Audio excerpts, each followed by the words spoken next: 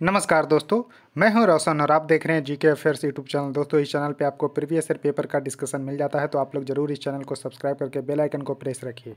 दोस्तों आज जो सीरीज़ हम डिस्कस कर रहे हैं, वो है जी के जी एस का रामबन जी हाँ दोस्तों, अगर जी के जी एस में महारत हासिल करना चाहते हैं तो ये सीरीज़ आपको ज़रूर फॉलो करना चाहिए। और तीन लेक्चर अब तक अपलोड हो चुके हैं तो चौथा लेक्चर है तो पहले के लेक्चर भी आप लोग ज़रूर देख लीजिएगा। और इसमें हम क्या डिस्कस करते हैं तो विभिन्न परीक्षाओं में पूछे गए प्रश्न को डिस्कस करते हैं, जो कि D F C C L C P D T M C G L सभी में महत्वपूर्ण होगा, क्योंकि हम इसको टी सी एस स्पेशल रखने की कोशिश करते हैं।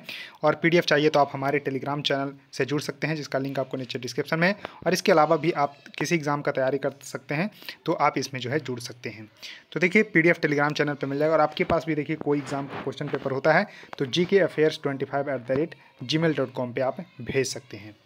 तो क्वेश्चन नंबर फोर्टी सिक्स है, जो कि यहाँ पर देखिए कौन सा एग्ज़ाम में आ चुका है। तो यहाँ देख सकते हैं G S E C L विद्युत सहायक जेई मैकेनिकल में एक क्वेश्चन आ चुका है, जो कि इकतीस आठ को। तो यहाँ पर मैं लिख देता हूँ कि कौन से एग्ज़ाम में आया है तो इसको देख लीजिएगा। अब देखिए, निम्नलिखित में से किस ब्रिटिश वायसराय के शासनकाल के दौरान प्रसिद्ध जो है चौरी चौरा घटना हुई थी। तो सबसे पहले आपको पता होना चाहिए कि चौरी चौरा घटना जो है हुई कब थी। तो देखिए, एक क्रम आपको बताता हूँ। 1920 में 1920 में महात्मा गांधी के द्वारा असहयोग आंदोलन, यानी कि नॉन कोऑपरेशन मूवमेंट जो है, गांधी जी के द्वारा शुरू किया गया था। ध्यान रखिएगा, महात्मा गांधी के द्वारा 1920 में असहयोग आंदोलन की शुरुआत की गई थी। तो देखिए, यहाँ पर भारतीय क्रांतिकारियों ने पाँच फरवरी 1922 को, ध्यान रखिएगा, डेट पाँच फरवरी 1922 को 1922 को जो है, गोरखपुर गोरखपुर में जो यहाँ पर आपको ध्यान रखना है, एक पुलिस स्टेशन में जो है आग लगा दी गई, जिसके कारण बहुतों की जो है मृत्यु हो गई थी। तो इस वजह से गांधी जी ने क्या किया? असहयोग आंदोलन को वापस ले लिया। तो कई बार एग्ज़ाम में क्वेश्चन पूछे जाते हैं कि किस घटना के बाद जो है महात्मा गांधी ने असहयोग आंदोलन को वापस ले लिया था? तो चौरी चौरा घटना के बाद। तो पाँच फरवरी उन्नीस सौ बाईस को चौरी चौरा की घटना गोरखपुर, उत्तर प्रदेश में हुआ था। तो इसको ध्यान रखिएगा। अब देखिए, पूछा गया है कि उस समय जो है ब्रिटिश बाइसराय कौन थे? तो ब्रिटिश बाइसराय दोस्तों, उस समय थे लॉर्ड एरिडिंग। तो करेक्ट आंसर इसका ये सही होगा, ध्यान रखिएगा करेक्ट आंसर इसका। ए सही होगा लॉर्ड एरिडिंग लॉर्ड एरिडिंग का कार्यकाल 1921 से लेके 1926 तक रहा था। तो 21 से लेके 26 तक रहा था। तो देखिए, जब असहयोग आंदोलन शुरू हुआ था तो उस समय जो है, एक गवर्नर वाइसराय नहीं थे, लेकिन जब चौरी चौरा घटना हुआ था तो एक गवर्न, ये वाइसराय थे। अब देखिए, एक और विद्रोह पूछा जाता है 1921 का मोपला विद्रोह। तो ध्यान रखिएगा दोस्तों, केरल के किसानों के द्वारा जो है 20 अगस्त 20 अगस्त 1921 1921 को मोपला विद्रोह हुआ था। इसको भी ध्यान रखिएगा, बहुत ही इंपॉर्टेंट है क्वेश्चन पूछे आ रहे हैं। उसका देखिए नेक्स्ट क्वेश्चन आपके सामने है कि भारत के किस पड़ोसी देश को सियाम कहा जाता था? देखिए, सियाम किस देश को कहा जाता था? तो दोस्तों, इसको करेक्ट आंसर है थाईलैंड। तो थाईलैंड को जो है, सियाम बोला जाता था। इसको ज़रूर ध्यान रखिएगा। और देखिए लैंग्वेज है इसका थाई। तो थाई इसका भाषा है, थाईलैंड का, इसको ध्यान रखिएगा। और देखिए, श्रीलंका को सिलोन के नाम से भी जानते थे। C E Y L O N तो सिलोन के नाम से जो है श्रीलंका को जाना जाता था और थाईलैंड को सियाम के नाम से जाना जाता था। अब देखिए, मैप में यहाँ पर देख सकते हैं कि देखिए, बर्म, बर्मा बोला जाता था म्यांमार को। इस तरह से देखिए, थाईलैंड को सियाम बोला जाता था। इसको ज़रूर ध्यान रखिएगा। बहुत ही इंपॉर्टेंट है। और देखिए यहाँ पर मैप जो है ज़रूर देखा करिए। और देखिए यहाँ पर मलेशिया है, जिसकी कैपिटल कोलालमपुर है। तो इस तरह से और इंडोनेशिया ये है। इंडोनेशिया और मलेशिया के बीच में देखिए स्टेट ऑफ़ मलक्का है। तो इसको ज़रूर ध्यान रखिएगा। बहुत ही इंपॉर्टेंट है। और यहाँ पर देखिए गल्फ़ ऑफ़ सियाम है। तो इसको भी यानी कि गल्फ़ ऑफ़ थाईलैंड यहाँ पर है। ये अंडमान सी अपना है। और यहीं पर अंडमान निकोबार है। तो इस तरह से आपको मैप को थोड़ा सा देखते रहना होगा। उसके देखिए फोर्टी एट नंबर क्वेश्चन है कि भारत का अंतिम गवर्नर जनरल, जो कि एक भारतीय थे, उनका नाम क्या था? तो देखिए, भारत का अंतिम गवर्नर जनरल का नाम था चक्रवर्ती राजगोपालाचारी। तो करेक्ट आंसर इसका सी, डी होगा। सी, राजगोपालाचारी, यानी कि चक्रवर्ती राजगोपालाचारी उनका नाम था। लेकिन अगर पूछा जाए कि स्वतंत्र भारत के, स्वतंत्र भारत के जो है पहले जो है गवर्नर जनरल कौन थे? तो लॉर्ड माउंट बेटन थे। लॉर्ड माउंट बेटन जो है इसका करेक्ट आंसर होगा।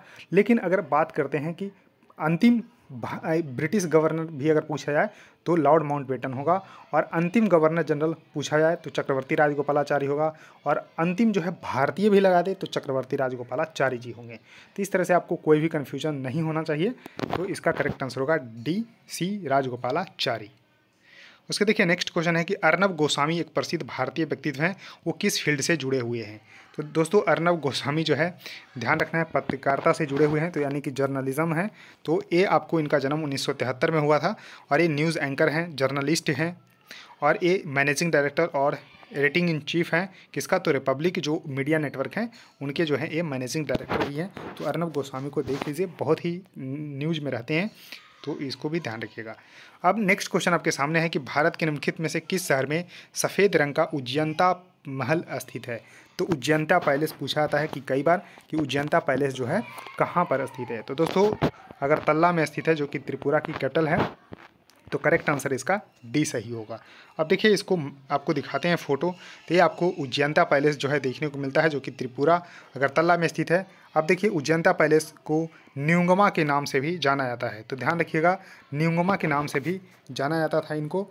और जो कि 1901 में महाराजा राधा किशोर मानिक के द्वारा निर्मित त्रिपुरा राज्य साम्राज्य का पूर्व शाही महल तो इसको ध्यान रखिएगा 1901 में जो है महाराजा राधा किशोर मानिक के द्वारा जो है निर्मित किया गया था और उसका नाम जो है रविंद्रनाथ टैगोर के द्वारा दिया गया था और 2011 तक इसमें राज्य विधानसभा थी। वर्तमान में यह त्रिपुरा का राज्य संग्रहालय है। तो जनता पैलेस में क्या है? त्रिपुरा का राज्य संग्रहालय है।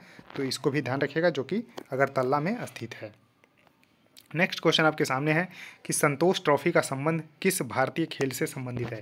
तो देखिए, संतोष ट्रॉफी फुटबॉल से संबंधित टूर्नामेंट है और भारत का सबसे प्रतिष्ठित फुटबॉल टूर्नामेंट माना जाता है। इसको भी ध्यान रखिएगा। अब देखिए, आपको फुटबॉल को तो मैंने बताया कि संतोष ट्रॉफी इससे संबंधित है। उसके बाद आपको ध्यान रखना है कि क्रिकेट का। क्रिकेट का कई बार पूछा जाता है, जैसे कि Irani trophy Deodhar trophy Duleep trophy उसके बाद रणजी ट्रॉफी तो इस तरह के ट्रॉफी जो हैं, आपको क्रिकेट से देखने को मिलते हैं। उसके बाद नेक्स्ट क्वेश्चन है कि भारत सरकार का एक जो है ऐप लॉन्च किया गया था, उमंग ऐप तो उमंग ऐप का जो है, पूरा नाम क्या है? तो फुल फॉर्म आपको उमंग ऐप का बताना है। तो दोस्तों, इसका पूरा फो, नाम है unified mobile application for new age governance correct answer इसका डी होगा। यानी कि नए ज़माने के शासन के लिए एकीकृत मोबाइल एप्लीकेशन है तो इसको इंग्लिश में ही याद रखिएगा unified mobile application unified mobile application for new age governance अब देखिए इसको ऑफिशियल वेबसाइट से इसके बारे में थोड़ा सा बताता हूँ। तो देखिए अबाउट के सेक्शन में जाइएगा उमंग ऐप में तो आपको ये देखने को मिलता है। Unified mobile application for new age governance जो कि इसका फुल फॉर्म है। डेवलप किया गया था ministry of electronics and information technologies को शॉर्ट में मीटी जानते हैं।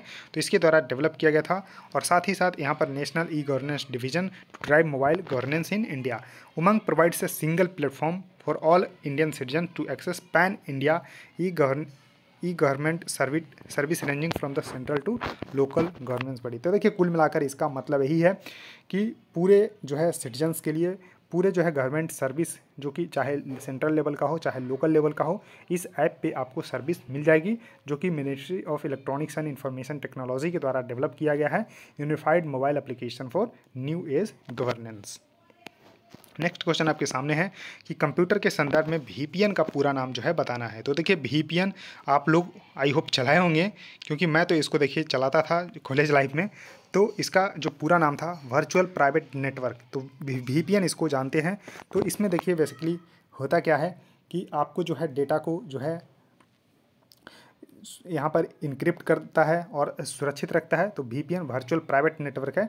तो इसमें आपको ध्यान रखना है करेक्ट आंसर इसका ए होगा वर्चुअल प्राइवेट नेटवर्क उसका देखिए नेक्स्ट क्वेश्चन है कि जानवरों के उस जोड़े की पहचान करें जो केरल के राज्य प्रतीक का हिस्सा है। यानी कि केरल केरल राज्य का जो है स्टेट एम्बलम है, उसमें कौन सा जो है पेयर ऑफ़ एनिमल है? तो पेयर ऑफ़ एलिफेंट है। अब देखिए, केरल का जो यहाँ पर जो स्टेट एम्बलम है, इस तरह से देख सकते हैं। दो हाथी यहाँ पर है, सत्यमेव जयते लिखा हुआ है और यहाँ पर भारत का प्रतीक चिन्ह है। और देखिए गवर्नमेंट ऑफ़ केरल जो है यहाँ पर लिखा हुआ है। इस तरह से आप देख सकते हैं। तो दो हाथी इसमें है तो यानी कि हाथियों का जोड़ा है केरल के स्टेट जो है एम्बलम में। तो इसको भी ध्यान रखिएगा। अब देखिए क्वेश्चन है कि निम्नलिखित में से कौन सा हितधारक जो है उड़ीसा सरकार की कालिया योजना का अंतिम लाभार्थी है? तो देखिए, कालिया योजना का जब फुल फॉर्म जानेंगे तो आप पता कर पाएँगे कि ये किसानों के लिए था। तो करेक्ट आंसर यहाँ पर बी सही होगा यानी कि कालिया योजना, यानी कि कृषक असिस्टेंट करके कुछ नाम है। तो इसको ध्यान रखिएगा तो उड़ीसा सरकार के द्वारा योजना शुरू किया गया था, कालिया योजना, जिसके अंतिम लाभार्थी किसान थे। अब देखिए, इसके बारे में कुछ बताता हूँ। तो देखिए financing agriculture and the insuring the cultivator is essential to eradicate poverty and to boost share prosperity of the state अब देखिए कालिया का पूरा जो फॉर्म है, कृषक जो है assistant for livelihood and income augmentation KALIA scheme इसका पूरा नाम है।